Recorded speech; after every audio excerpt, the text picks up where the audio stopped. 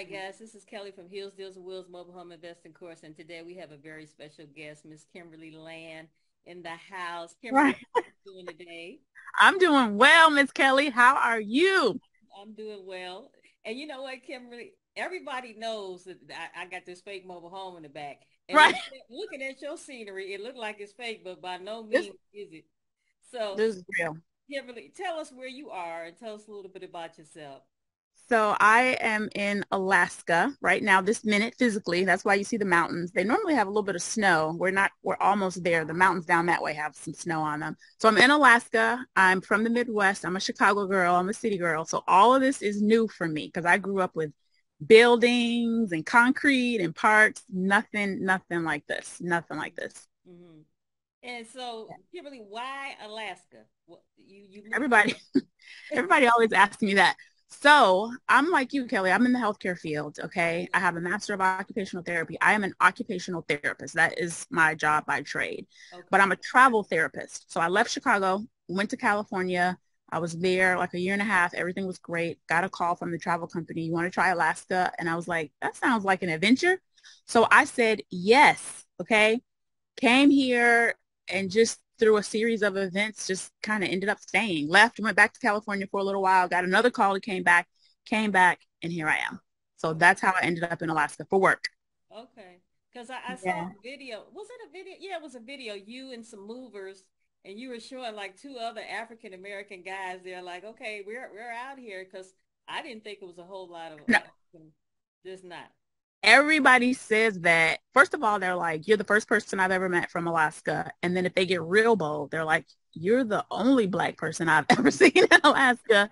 And i'm like it's true. So there are not a lot of black people here. There are not a lot of brown skinned people of african descent i should say that. Not, not a lot of black americans. There are africans here just not a lot of black americans here um, a lot of people come here by way of uh, medical, like me, by way of the military, because you know we have um, the Air Force and the Army bases here, right up the road. We might hear a plane in a minute, and then um, people come here just for opportunity. So typically, when you see somebody that looks like me, there's just a lot of opportunity here. Like you can come here, and the next day you can have a job. It's very easy to get work here. Very, very easy.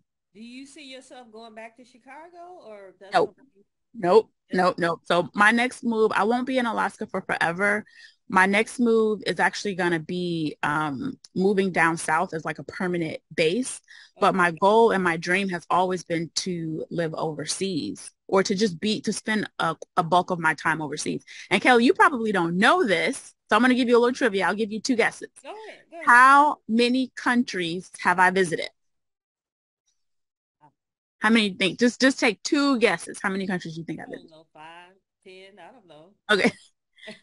the 80, 87. So before yes, before the pandemic, like I love to travel. Before the pandemic, that's where I spent all of my time and all of my money was I would work, work, work, work, work, work, work. That's part of the reason why I became a travel therapist, save the money, and then I would leave and go on vacation. I've been to all the continents, including Antarctica. So I've, I've been all over the world. That was my thing that I was doing before this. So I have a history of real estate investing. That was how I was getting money in addition to my job. And so then when the pandemic came along, I was kind of grounded. I was still doing real estate investing, but not here in Alaska. That's when I got into mobile home investing in Alaska. Okay. Okay. Yeah. So, Kim, uh, were you a realtor? At one point I was, and then I got out of being a, I was a realtor and an appraiser actually. I got out of that. It wasn't for me. I did that for a few years. Um, and then I just transitioned just into real estate investing. And so I had rentals, I was doing fix and flips, um, and wait, rentals, fix and flips, and creative financing. So my history is a mix of all three of those. That was what I was doing before mobile homes, which I mean, I'm still doing it now. I shouldn't say before because I, I have mobile homes and I have regular real estate and I do both. Okay. So Kim, would you would you say you're like more successful at one than the other, like single family homes versus mobile homes or That's a good question. I think I think mobile homes are simpler. So I wouldn't I wouldn't necessarily say I'm more success man, maybe I guess I am more successful with mobile homes only because for me the trajectory happened just faster. It just happened a little bit faster mostly because the barrier to entry with mobile homes is, is really kind of almost non-existent. Like it was so low to get in. Whereas with real estate, I had to do a lot more just to get those those properties. Mm-hmm. So because of that, I suppose you could say I'm more successful with mobile home investing because mm-hmm. there wasn't a lot to do to get involved. Whereas with real estate, I had to do a lot just to get, you know, my first property and then my second and then, you know, on from there. Would you say it's like more competition on the single family side versus the mobile home side? Yeah, there's definitely a lot more competition because um, it's not just single families. You know, I, I was buying single families, multifamilies, and commercial real estate, which you know is five units plus. Mm-hmm. So I had I had everything. There's definitely a lot more competition. But even though there's a lot more competition, a, a lot of people can't even compete because of money. Plain and simple. It's just money and credit are like the two large, the two biggest issues why people can't do it. My experience has been with mobile homes. It doesn't even compare. It's just, it's just a lot easier to get started, even when you don't have any money. Mm-hmm. With, with real estate, you have to be a little more creative about that. Mm-hmm, mm-hmm. And so, Kim, so you were a realtor. Uh, you still have a license, or you still you know? No, that was not for, I did that for a while. I had an office, I had a partner and everything. And it's like anything else. When you do something, you learn what you like and you learn what you don't like. And then you make decisions from there on which path you want to take. So I did that for a while. And then right before the market crashed, I stopped I didn't want to do the licensing thing anymore because it just didn't benefit me as an investor. Now, for some people, it does benefit them. For for me and my goals and what I was doing, it did not benefit me. So I didn't renew my license, and I haven't had it since. And I have zero interest. I do work with with realtors okay. because they help me, but I have no interest in any state in the United States in being um, a licensed person. I have zero interest. so None. You, you work with realtors, but you work with realtors on the mobile home side. Is that is that what you're saying? No, actually, well, sometimes I do. Occasionally, I work with realtors on my real estate side because um, there was a time when I was doing, I was finding all of my own tenants, and so a lot of people, we do this, particularly women, we try to do everything. And so one of the things that I've been learning over the years is it's okay to delegate, to, to, to get, delegate responsibility and to delegate tasks. Mm-hmm. So with my real estate, I was doing everything. I was finding it. I was getting the tenants. I was making sure, you know, the units were, were ready. I was doing everything. Now I'm delegating things a lot more. So like I use, I have one realtor who loves working with Section 8 and with um, tenants when a, a, unit becomes vacant or something happens, I call her. I don't try to do all that stuff myself. I don't do anything. She does all the work and I will gladly pay her because that frees up time for me to make money doing other things. So I have a realtor for that. I have another one who brings me deals every now and again, like, hey, you know, are, are you interested? Blah, blah, blah, blah, blah. So everybody has like, like a role. I don't do everything on my own like I used to. I, I I'm some things still kind of working on, but I'm working on like delegating things a lot more. So I use realtors um, in that uh, sense. Okay. And so are you licensed in uh, Alaska? In no. For, for I don't want to be licensed for nothing. no. no. Well, you know, you don't have to be licensed. Okay. So um, you don't have to be licensed to sell. You don't have to be licensed to buy, and you don't have to be licensed to renovate. So I do not have a license for anything.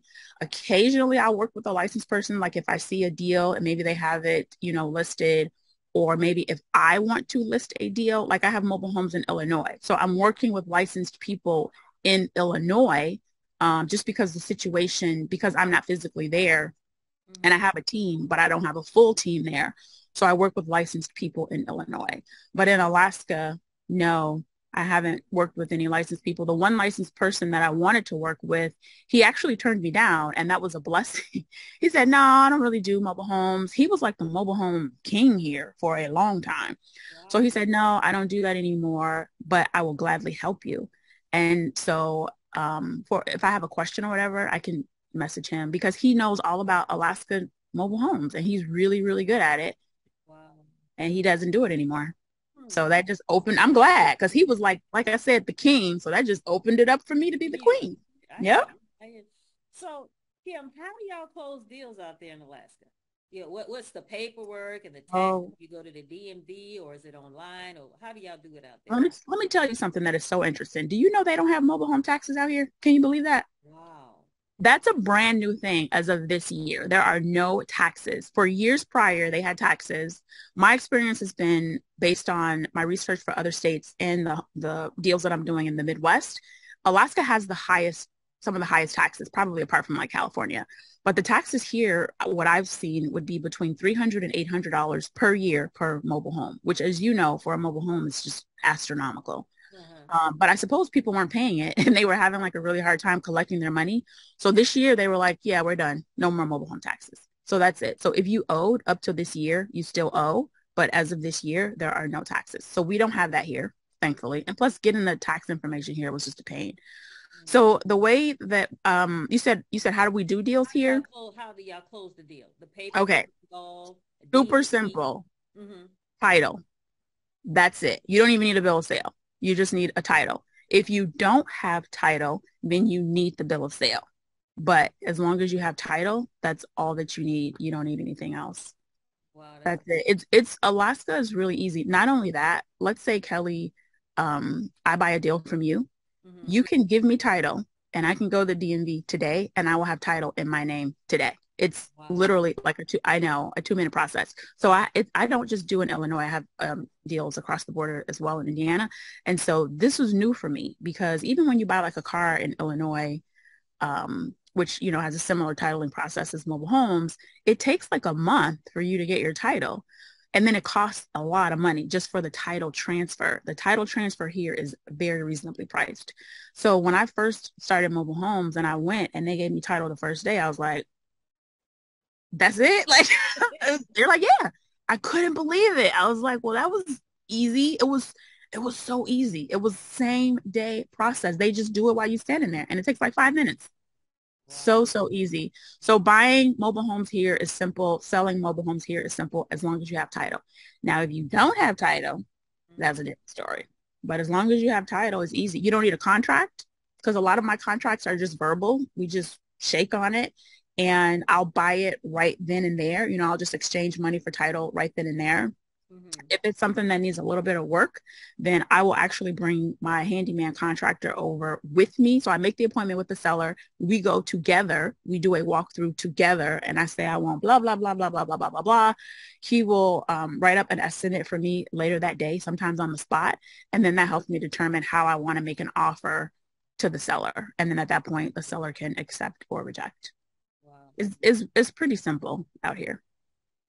So Kim, since we're talking about repairs, you talked about the handyman. Now, yes, I, I seen you and you had your little hammer and everything, and I'm like, okay, is she doing this for real? I mean, because to build to build some stairs, I mean, that's gonna take you know a lot of effort.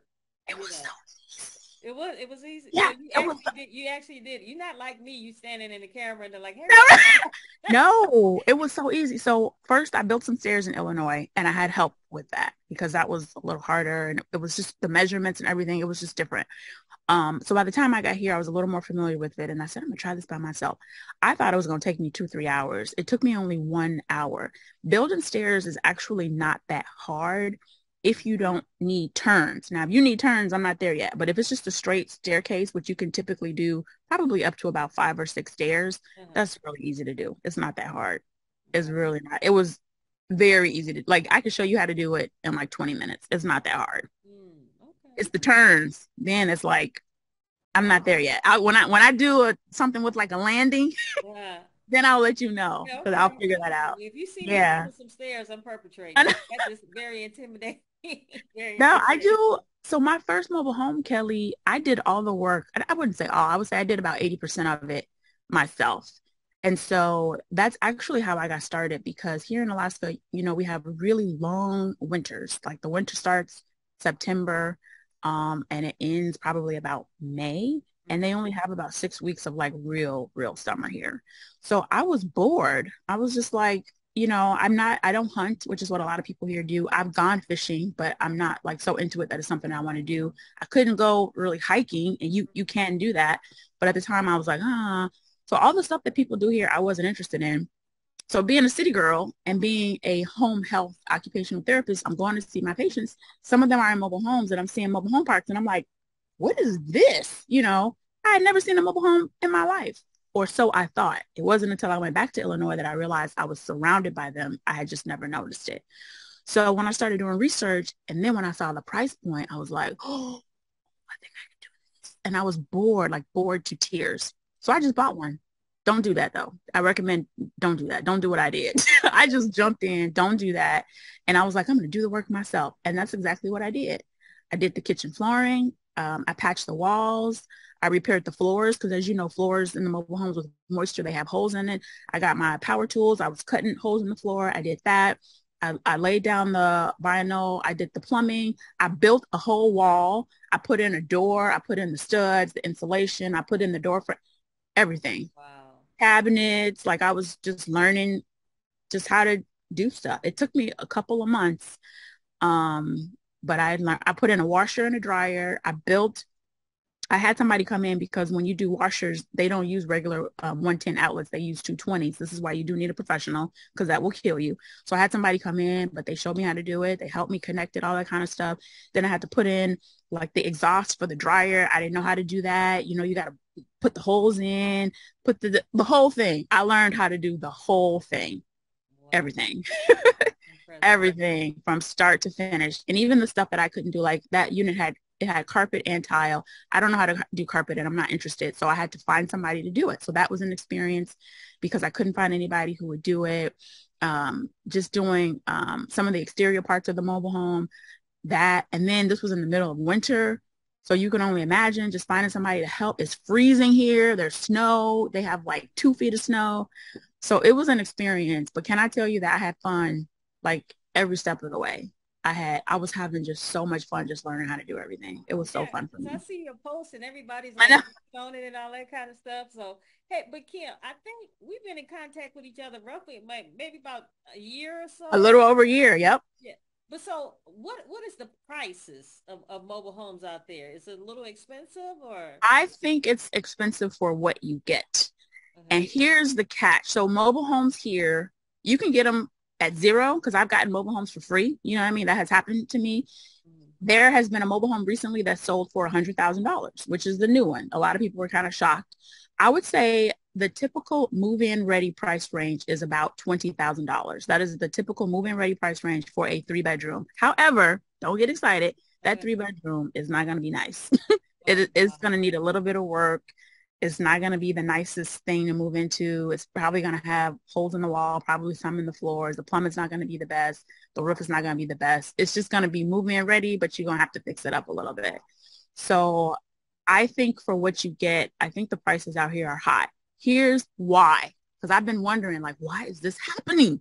Mm-hmm. When I went to the Midwest and I started looking at at those units, those units have garages, which shocked me because that, that does not happen here. You don't have mobile homes with garages. They're really kept well and they're in really good condition. They have lawns, they have concrete pads. Units here don't have concrete pads. So when they move a mobile home, it is on dirt. That is it. So I, I know, I didn't even know that, which is crazy because they have earthquakes here. We have earthquakes here like every day. So it's always shaking, always shaking, shaking, shaking. So what I learned was mobile homes moved here um, in the 60s and the 70s because of like the oil pipeline and all the opportunity and they just needed housing fast. There was no housing. So there was a man and his dad they were just moving mobile homes moving them moving them moving them they brought them up here. It was supposed to be a temporary living like housing um, solution. That was it. But they just kept selling them and selling them and people kept moving and moving and moving. So here we are you know, 40-ish plus years later and people are still moving in these mobile homes, but they're not maintaining them. So when I get a title to a mobile home, the majority are in the 60s and the 70s. Can you believe that? Mobile home titles in the 60s and the 70s. And this is pre-HUD construction standards. So I've had mobile homes that still are on fuse boxes. I've had mobile homes that are on galvanized plumbing. I've had mobile mobile homes. The one that I just got uh, two days ago, the paneling is older than me and I'm almost in my mid 40s. The paneling is older than me. Wow. So these homes are old. So you, unless you take everything out and put something new in, you're really just kind of building on top of what's already there. Mm-hmm. So I, my experience has been after doing this in multiple states, mobile home investing here, rehabbing is the hardest. It's the hardest it's going to be. Mm-hmm. And so I feel like if I can do that here, I can do it anywhere because when you literally have to reconstruct plumbing and electrical and the roof. And like when you're doing all this kind of stuff, you learn a lot. You learn like a lot because you are you're doing a lot with these mobile homes. They need they need a lot. People are not taking care of them. And, and so Kim, when you when you sell it to somebody else, okay, eh, let's just say they need a bank loan. Is there an inspection that's involved? That does not exist here because of the reason that I just told you. Yeah. You cannot get a bank loan for a mobile home here. It doesn't even exist. So it's not to, whoever buys it has to have cash. They have to have cash. Mm-hmm. They have to borrow the money because a bank will give you a personal loan, but as you know, that requires uh, credit. Like you have to have really good credit to just get a, a personal loan or seller financing. Those are your are your options, but you cannot get there's no such thing as a bank loan in Alaska for mobile homes. It doesn't exist. So Kim, when you finding these older model mobile homes and like they they they really old, can some of them be moved? What do you mean, like out of state? No, no, to to another location. From yeah, they can't. Yeah, being that old, they still move them. Yep, they sure do. Against the law to Nope. Wow. It's not against the law. And, and the reason why is because you have no other options. They're not bringing in any new mobile homes and they're not building any new mobile homes. So like we don't have dealers here. We don't have people moving homes in from other states. That does not exist. What's here is here. And that's just, that's just it.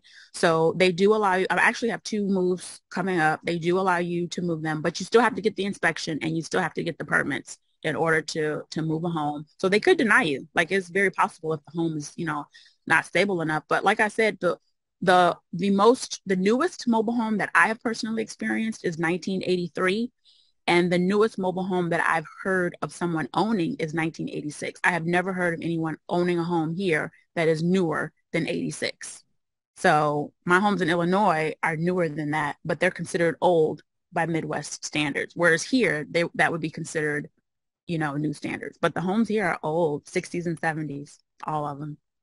So when you're talking about inspection, you're talking about when you move the mobile home to its destination, it has to be inspected like it's strapped down correctly, not that it's inspected as to what's the, the right. The home itself has to be has to be inspected. So they inspect it to because you know moving is a very right. It's a oh, I harsh. The whole thing. They're just not inspecting how it was strapped down and all that good stuff. They're inspecting the whole thing after you move it. Are you asking me or telling me? I'm asking you. Oh yeah, yeah. They so no, no. They inspect it before, and then you have to weigh it on the way. It has to be weighed, and then when it gets to its location, um, I guess I guess you can say the way they strap down here is a little different because you know because of the earthquakes and everything like that. So you have to have uh, that inspection, and then like a water and electrical and a and a plumber like licensed. It can't be the, the handyman. It has to be a licensed person who comes out and connects all these things. It's a process. It's a process. That's why moving homes here doesn't really happen. So what I've noticed is when people put on the market that they want their homes to be moved, it won't sell because the regular person is not going to move it. Number one, because people are lazy. They just don't want to go through the process of learning. It's a process here. So people don't want to do it. So when someone wants to move a home, um, and I see it online, I'm like, it's, it's not going to sell. I know that that's my opportunity because they're not going to be able to sell it. There was a mobile home that needed to be moved last year. Mm-hmm. Uh, I put in an offer on it. They were offended. They didn't even they didn't even respond to my offer. They were offended by my offer. We had been texting up to that point. When I submitted my offer, they didn't respond. They wouldn't get back to me. Nothing. Do you know? A year and a half later, that mm-hmm. property is still sitting there. It is still for sale with their realtor. And I'm just like, they're never going to sell that because it needs to be moved the only person or type of person that's going to buy that is someone like me, an investor. A regular homeowner, it's not like in other states where regular homeowners buy and move. They don't do that here.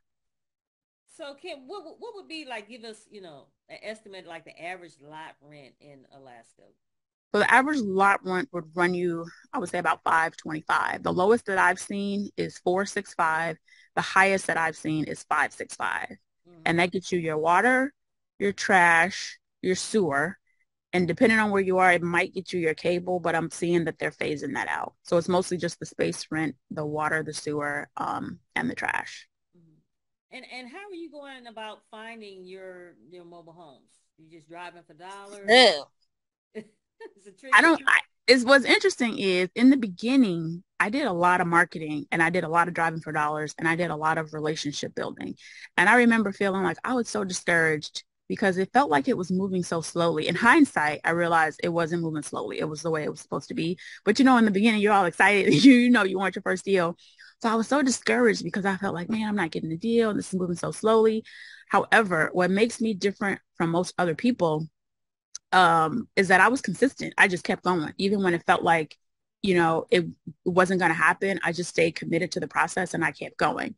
So to answer your question, now I don't do a thing. People come to me and they call me and they bring me deals. I don't have to do anything. I've got park managers calling me. I've got friends calling me. I got regular people calling me. I'm known as the mobile home girl because number one, my skin color. Then I got this hair. Then I'm a woman. So I stand out in a lot of ways. And there's just not a lot of mobile home like investors here. Mm-hmm. So I stand out in a lot of ways. So I'm the mobile home girl. Somebody called me the trailer queen, the trailer park queen. I was like, whatever. I'm the mobile home girl. So people call me. I had a um a park manager call me the other day. There was this home that I did. I posted it. I don't know if you saw, but it was two trailers. One of them was old. It, it looked like a like a, a truck uh, container and it was there illegally and they were trying to sell it. They had evicted the person and they were trying to sell it and they couldn't get an investor to buy it. They couldn't get anybody to buy it. So she called me and I said, okay, I'm interested. But then she said, well, you need to hurry up because there's somebody else interested. Mm-hmm. I don't do fighting over stuff. So I just said, well, let me know if they don't get it. Well, they didn't get it. She kept calling me and I was like, I want to do it, but my team and I are backed up and I don't want to pay lot rent. If we could work something out, I'll buy it. She kept calling me. She worked it out. She worked it out so that I was able to get it. We worked out the lot rent situation. I I ended up buying it for like a really fair price. Now let me tell you, here's the thing. I didn't know how to get rid of that other trailer. It was like a whole trailer. We couldn't move it out. There was like a tree in the way and a fence, so we couldn't pull it. I but I knew that I could do it. I just didn't know how. So I finally found a guy and they literally took chop saws and sawzalls and they just cut that bad boy down. It took them three days. They mm-hmm. cut it out when I tell you that park manager was so happy, she came to me. She was like, I knew you, I knew you were the one that would be able to do it. And in my head, I was like, but she said, I knew you would be, she said, everything, and this is just the key for anybody that's listening. She said, everything you say you're going to do, you do it. That is key. When I buy a, a property and I say that I'm going to clean it up and I'm going to do this and I'm going to keep up with you, if I say I'm going to bring you, you know, the lot rent, I'm going to bring you the money at this time, I I bust my behind to make sure that I do what I say I'm going to do. That's why she kept calling me because nobody else would do it but me. Right. So that's how I get deals now. That is key. That is. Yeah. That's key. Yeah. So, so, Kim, are you doing any deals on land or all of your deals in the park or? yes. So they do have quite a few deals on land here in Alaska. So remember I told you that I do regular real estate too. So you know the mobile homes on, on land are regular real estate. I do um, pre-foreclosures. Okay. Mm-hmm. So I found this deal that was a mobile home on land as a pre-foreclosure. And the lady was in pre-foreclosure and I just started, you know, I found her, knocked on her door. Hey, you want to sell? She's like, oh, I don't know why you want this ugly house. And I was like, don't worry, I can make it work. We worked out a deal. So this is actually like, like a steal um, once this goes through. We're in the middle of negotiating, not negotiating, we're in the middle of working with the bank on it now because she is in pre-foreclosure. So to answer your question, yes, I do do deals on land. I have um, a couple of deals that I'm in the beginning stages of working on in Illinois that are also on land, but because I am not physically there, I have a partner. So we're in the beginning stages of that now as well. But yes, I would like to do some down south, but I, I have to be mindful of not taking on too many, you know, at, at once. I want to get the process down and then I can start picking up more. Mm-hmm. So on these foreclosed properties, are you taking over the loan or like a, a subject to type of deal or? Yep.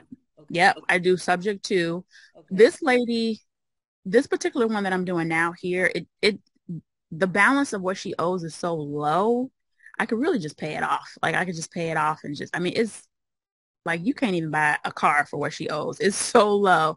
So I'm like, but then that would be cash that I would have just sitting in that property and I don't want to refinance and pull it out. So right now I'm just focused on just paying off what she owes and then just doing like a subject to. Mm. So because I'm still negotiating with the bank, I have time to decide. But I do I do have subject to deals that I like have right now that I own that I've successfully completed. And then her deal, I'm trying to decide if I'm going to do a subject to or if I'm just going to pay it off. I'm not I'm not really sure. I have to do the math and see. So with the subject to deals, uh, I'm sure you have an attorney involved in that, right? Because what if uh, you off and then they don't give you the title? No, I get title immediately. I'm sorry, not title. I get deed. I get the deed immediately. I won't do the deal if I don't have a deed. So that's not a question oh, for so me. They sign it over to you. Oh, or or I'm not doing it. That's it. it's I get the deed now. Period. didn't get the deed right. Exactly, you but I don't play that. And they don't transfer it over to you. you nope, I get deed immediately. Period. Or we're not doing the deal. That's it. Right. Yeah. So, Kim, are you buying and holding or, or, are you just buying and selling it flat out or, or are you renting them out? What are you doing? So real estate, I buy and hold. I don't sell real estate. I don't flip real estate. I don't do any of that. I buy and hold only. Mobile homes, I don't buy and hold. I flip only. That's it. Yep. So mobile homes, flipping, real estate, holding. And I use mobile homes as kind of like a launch pad for real estate and to to just have financial like freedom, just to relax. That's what mobile homes is for me. Okay. All right. Yeah. And so Kim, let's let's get to the real stuff. You know I was gonna ask you this question. what is it? What is it? Your first, I mean, this is how we start talking. You posted something, it was like a bear running in the background. I was like, oh my oh, that was my first post. That was my first post. And, and, and you were cracking up laughing. I was like, girl, I ain't never seen nothing like that. I mean, I mean, I applaud you because once, once I see a bear, I'm out. I'm done. Forget about that was people are always tripping over that. That's a normal thing. You see here, we got this. Can you see that? Right. The bears crawl right up them stairs almost every day. They come right on up almost every single day. And you see I got this here, I'll be sitting there chilling. You have to be very mindful because these bears will sneak up on you in a minute. Are they friendly or? Um, I wouldn't say they're. I don't think bears are friendly, yeah. but they're they're. I think part of the reason why these bears are not as dangerous is just because they've been coming. They come down this mountain. I live on. This is a mountain that we're on. We're on, we're on the side of a mountain. Okay. So they come down this mountain. Let me just show y'all. They come here yeah, like there. So they kind of come down this mountain uh-huh. all the way up there. And then they come on this path and they've been coming down this path for like decades. I think they're just used to seeing people. I really think that's just what it is. They're just used to seeing people because people have been living here for so long. Uh-huh. So they're just kind of like, whatever. Friendly. And they just don't mess with me because it's been so long. They don't really care. Because you posted the other day, you was calling one of them a name. I said, "Oh my God!" I know they don't care. They don't care. I was sitting right here on the deck and a bear just walked right past me like, whatever. They just, they're just used to it. I still don't mess with them. Don't make, I don't want you to think that I'm out here getting bold. I don't do that. I still don't mess with them. Mm-hmm. But, and I'm still very, very cautious. I don't get close, close to them. Somebody said, why don't you get bear spray? I was like, I'm not trying to get close enough to even use the bear spray. Wow. But I do have that. And, you know, you have like your pistol and your rifle, and then they have bear be- bear bells, which I have that. That's your best defense because if bears don't like humans, a lot of people don't understand that. They don't like humans. That's why in that video, and I was like, hey, hey, hey, everybody's like, that bear doesn't speak English. The point is not for the bear to speak English. It's because if they hear and see humans, they're more likely to just bounce because they don't like humans. So if they see you and hear you, they leave. That's it. That's it your big what has been your biggest obstacle since you've been in the mobile home investing business? What would you say it was? My biggest obstacle has actually been help. To be honest with you, just finding or something or yep, mm. finding good, reliable help. That has been the biggest issue. Part of that is location. What's interesting about Alaska is I have never in my life seen so many men and women who are 100% capable of building a house, fixing something, repairing something. I've never seen just a concentration of people who are just capable. People here can do anything. These are some, they can do anything here, okay? anything, the men and the women, everybody. Uh-huh. However, a lot of people here, unfortunately, are alcoholics um, drug users, and a lot of that has to do with like the, the climate, alcoholics and, and drug users. And then the people who are not that, they're busy. That's it. They're just super, super busy doing, they have a business, they're doing projects, they have so many clients, you know, So finding help here has been like the most challenging thing. In the Midwest, um, because I already have like a team, like I kind of have what I need there because of my real estate um, holdings. Uh-huh. So I have a team there. That part's okay. Um, I don't really think I think the hardest part for that has just been more managing because I'm far away. And that's only because I'm new at managing mobile homes. I've been managing real estate from far away for years. That's fine. But what I've learned, what I thought was managing mobile homes would be similar. And I learned it is not. It is not similar. So that has been the most challenging thing with the Midwest homes. But I mean, everything is a learning experience. You don't come out the gate knowing what to do. So now I know. That's it. Now I know. And, and so what what is your market? Is it three bed